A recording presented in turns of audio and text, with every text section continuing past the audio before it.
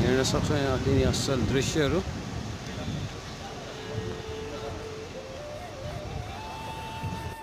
हामी देख्दैछौँ यहाँ बोर्डमा Capernaum the town of Jesus town of Jesus येसुको गाउँ भनौँ अथवा येसु बस्नुभएको सहर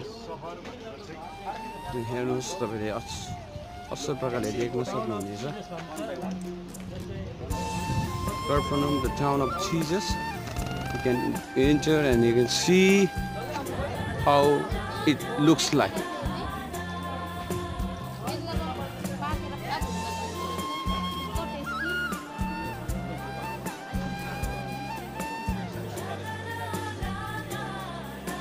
यहाँ हामी देख्न सक्छौँ खजुरको बोट अनि खजुर फलिरहेको छ। अनि हामीलाई अलिक हतार भएको कारणले गर्दा हामीलाई गाइडले एकदमै छिटो छिटो गर्नलाई अनि छिटो छिटो बोलाइरहेको छ।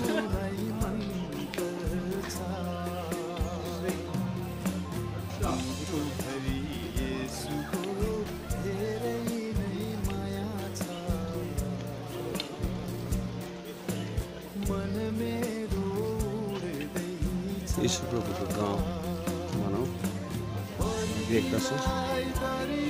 अति नै सुन्दर हामी देखिरहेका छौँ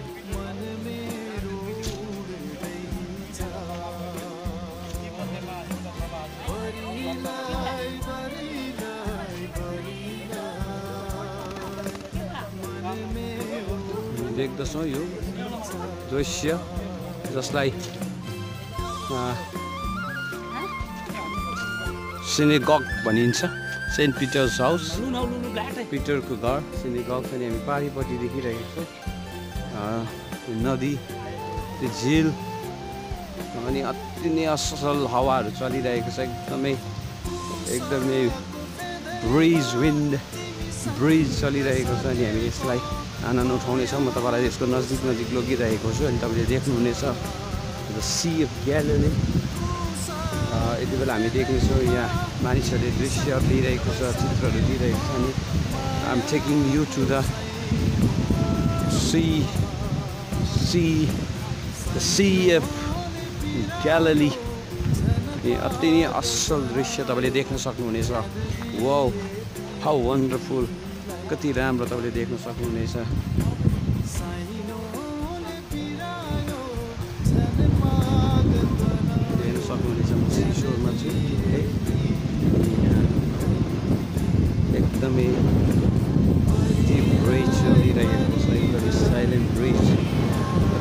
असल हावाहरू आइरहेको छ you can see the sea of Galilee जहाँ यसु प्रभु हिँड्नुभएको अनि उहाँले महान कामहरू गर्नुभएको थियो भन्दा दुई हजार अठार वर्ष अगाडि लगभग लगभग दुई हजार अठार वर्ष महान मिराकल्स काम अनि you can see beautiful pictures, beautiful scenery, beautiful scenario over here. How wonderful Jesus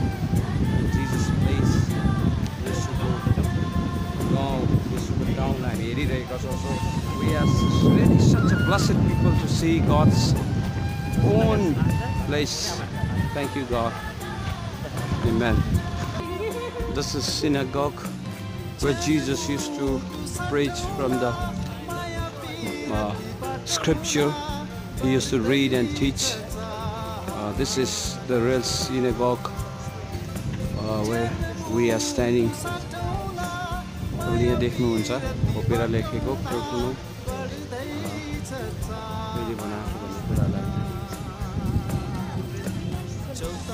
देखिरहेको छौँ। धेरै मानिसहरू यस ठाउँमा आएको छ।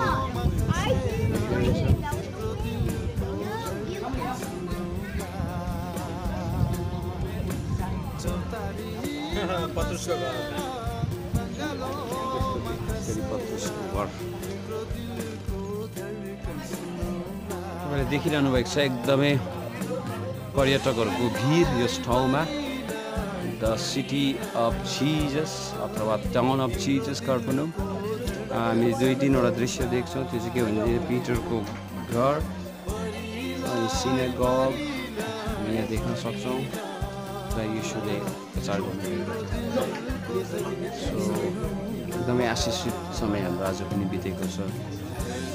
ठाउँमा अब हामी अन्तिम एउटा ठाउँमा गइरहेको छौँ सिएफ ग्यालेरी अथवा टाइगर स्टिल अनि जहाँ आज हाम्रो स्टे पनि छ होटेल बाली अनि सिएफ ग्यालेरीमा हामी बोटिङ गर्न गइरहेको छौँ.